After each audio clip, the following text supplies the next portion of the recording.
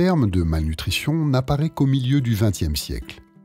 On définit alors cette maladie à facettes comme le déséquilibre de l'état nutritionnel causé par l'insuffisance ou l'excès d'un ou plusieurs nutriments essentiels. Mais l'histoire ne retient que la forme extrême et tragique de la malnutrition, la famine. Liée aux guerres, aux maladies et au changement du climat, la famine harcèle les peuples depuis toujours.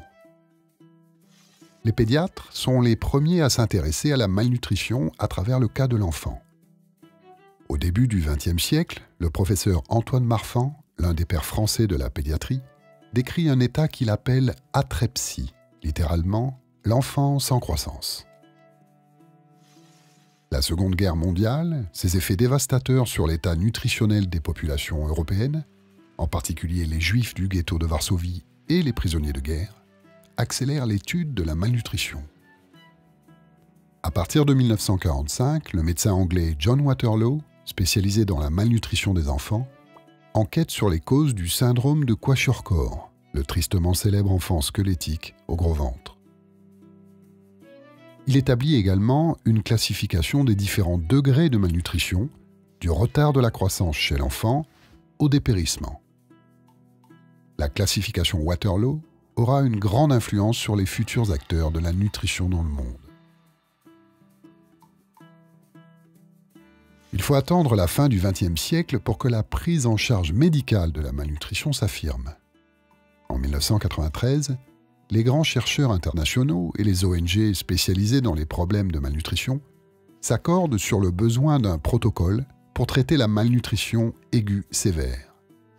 Une poudre de lait énergétique serait la pierre angulaire de ce nouveau protocole. L'entreprise Nutricet y travaille et met au point le F100, premier lait thérapeutique prêt à diluer. Il sera testé avec succès au Rwanda en août 1993. Mais on cherche une alternative encore mieux adaptée aux conditions de terrain et un produit que les pays concernés pourraient fabriquer eux-mêmes. On y parvient en 1996 avec un mélange d'arachide, de sucre et de lait. C'est l'invention de la première pâte nutritive prête à consommer.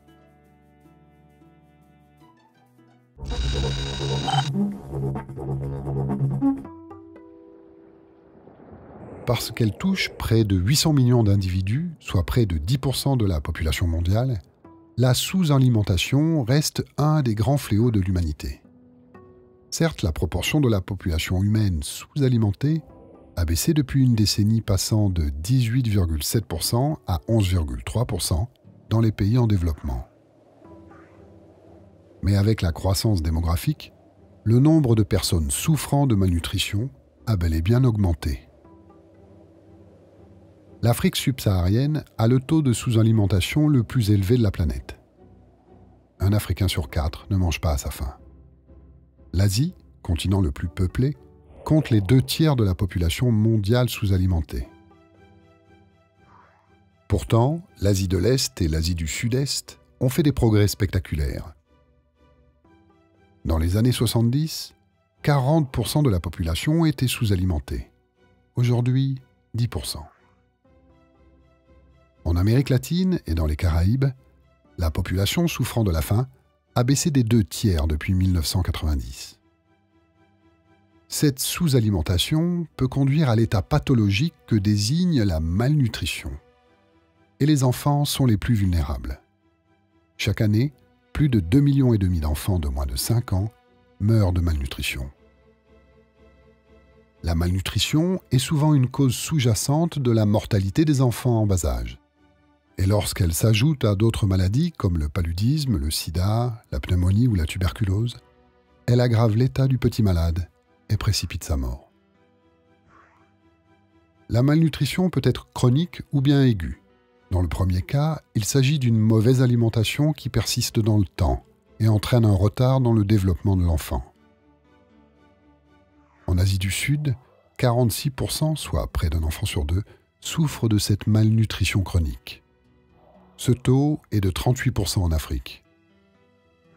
Quand le corps doit consommer ses propres tissus pour survivre, on change de registre médical, on parle alors de malnutrition aiguë. En Inde, 25 millions de jeunes enfants en souffrent. Parmi les autres pays les plus touchés, on trouve le Nigeria, le Pakistan, l'Indonésie, le Bangladesh, la Chine, l'Éthiopie, la République démocratique du Congo, le Soudan et les Philippines. La sous-alimentation s'explique par l'économie. Au Niger, 80% des habitants vivent de l'agriculture.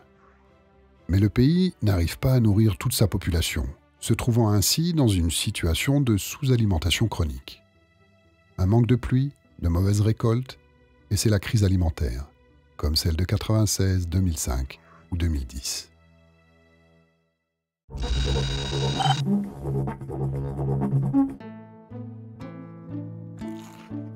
Le corps absorbe, assimile, puis transforme des aliments pour fabriquer de l'énergie et de la chaleur. La malnutrition, selon la définition de l'Organisation mondiale de la santé, est un déséquilibre entre les besoins du corps en énergie et l'apport effectif de substances nutritives. Les enfants sont les plus vulnérables, car leur organisme en plein développement a des besoins bien spécifiques. Tant qu'ils sont allaités, les bébés de 0 à 6 mois reçoivent une alimentation complète. Une fois sevrés, les risques de malnutrition apparaissent.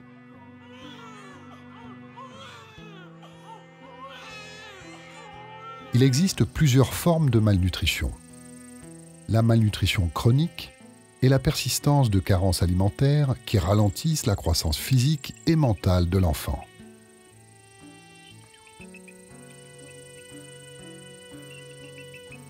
La malnutrition aiguë est une pathologie souvent conséquente d'une famine. Quand l'alimentation des enfants ne permet pas au corps d'assurer ses fonctions vitales, le corps consomme ses propres tissus, gras ou muscles. Dans un premier temps, on parle de malnutrition aiguë modérée. Si elle se poursuit, elle va évoluer vers une forme sévère, mortelle pour l'enfant. La malnutrition aiguë sévère peut prendre deux formes. La plus courante est appelée marasme. L'enfant squelettique a perdu graisse et muscles.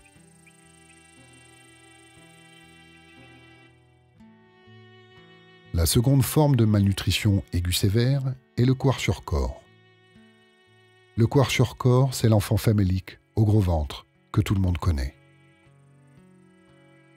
L'enfant fait de la rétention d'eau des œdèmes apparaissent sur ses pieds et dans le pire des cas, sur tout son corps. Il se déclare par exemple chez un enfant trop brutalement sevré au moment où son cadet le remplace au sein de la mère. Son système immunitaire s'affaiblit, il devient vulnérable aux maladies infantiles. Les scientifiques pensaient que le corps était dû à une carence en protéines associée à une infection. Mais aujourd'hui encore, personne ne sait précisément pourquoi il se développe.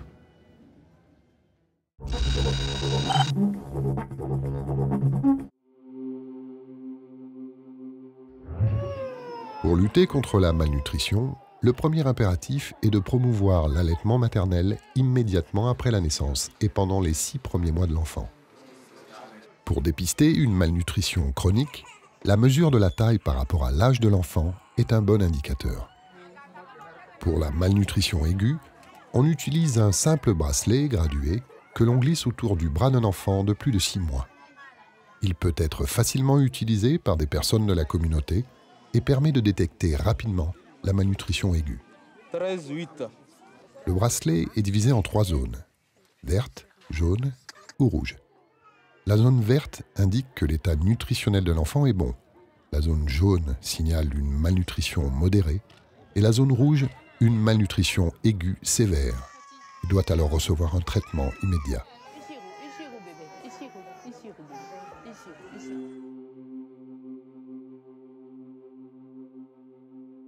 Pour prévenir et guérir les différentes formes de malnutrition, on prescrit aux enfants des compléments alimentaires.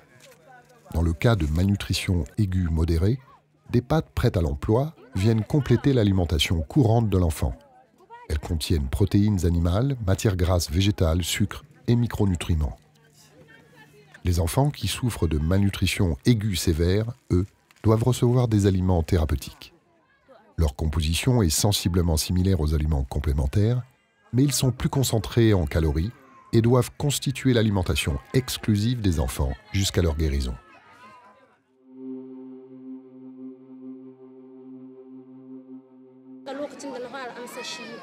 Au début, ma fille souffrait. Elle avait la peau flasque. L'agent de santé m'a dit de lui donner une cuillère le matin, une à midi et une autre le soir. Après avoir consommé seulement deux pots de ce produit, ma fille a sensiblement changé. J'en suis vraiment contente.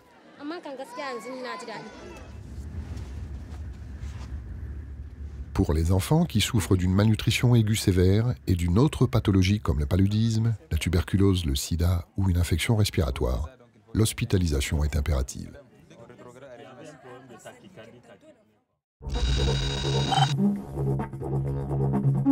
Nous avons enregistré d'énormes progrès dans le traitement de la malnutrition au cours des 20 à 30 dernières années. D'abord avec le développement de la standardisation et de la préparation du lait thérapeutique, comme le F75 et le F100, et ensuite avec la création d'aliments thérapeutiques prêts à utiliser, comme le plum peanut. La deuxième étape nous a permis de sortir de l'hôpital et d'aller auprès des communautés pour améliorer le traitement de la malnutrition et traiter beaucoup plus d'enfants. Malgré ces progrès, des millions d'enfants meurent encore de malnutrition. Le problème ne vient pas d'un manque de traitement. Nous avons un traitement qui est efficace pour traiter la malnutrition. Le problème, c'est l'accès à ce traitement. Nous travaillons sur l'élaboration de stratégies simplifiées et adaptées à des contextes spécifiques, et nous espérons qu'à travers cela, nous serons en mesure de dépister et de diagnostiquer les enfants qui ont le plus besoin de traitement. Nous souhaitons obtenir également que ce traitement parvienne à ceux qui en ont le plus besoin, afin de les empêcher de mourir. La nutrition n'est qu'un aspect de la santé infantile. Pour prévenir la malnutrition, il faut agir sur la santé globale des enfants. Nous devons nous pencher sur leur développement, faire en sorte qu'ils obtiennent des vaccins, qu'ils aient des soins médicaux appropriés, afin de prévenir la malnutrition et les maladies qui la causent. Par exemple, atteint par le VIH, la tuberculose, la rougeole ou le paludisme, un enfant est plus susceptible d'être touché par la malnutrition. Mais cela ne pourra se réaliser sans une approche politique, économique et agricole. Nous devons faire en sorte qu'il y ait assez de nourriture en qualité et en quantité et qu'elle parvienne à ceux qui en ont besoin. Pour conclure, il est essentiel de continuer à détecter et à traiter les enfants atteints de malnutrition, en particulier ceux qui risquent le plus d'en mourir.